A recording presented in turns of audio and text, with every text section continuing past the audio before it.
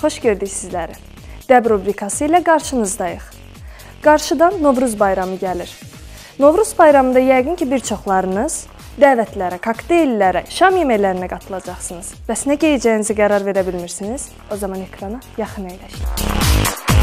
Əgər hər hansı bir restorana ailəvi yaxud cütlük olaraq gedəcəksinizsə, daha sadə geyimlər seçməyə diqqət edin. Tünd rənglərə üstünlük verin.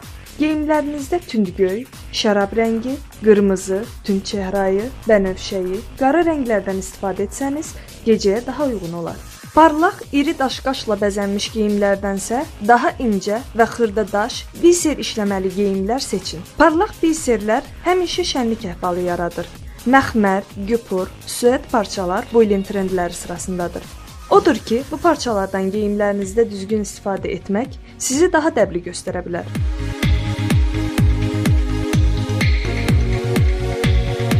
Qısa dəbdəbəli, zərzibalı, parlaq geyimlərdən istifadəni tərcih edən xanımlar sadə, qara yaxud ağ rəngli pencəkləri, paralel sadə qara platformalı, alçaq dabanlı ayaqqabıları tərcih edə bilərlər.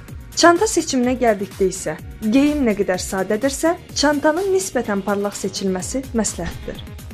Hicablı xanımlar da belə günlərdə daha dəbli və canlı obrazlar yarada bilərlər.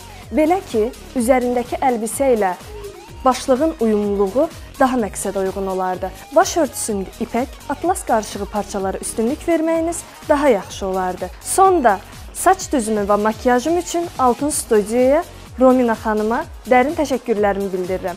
Geyimim üçün isə Afpark mağazalar şəbəkəsinə, eyni zamanda ayaqqabım üçün Polaris mağazasına və üzərimdə gördüyünüz paltarlar üçün isə Leke Jeans mağazalarına təşəkkürümü bildirirəm.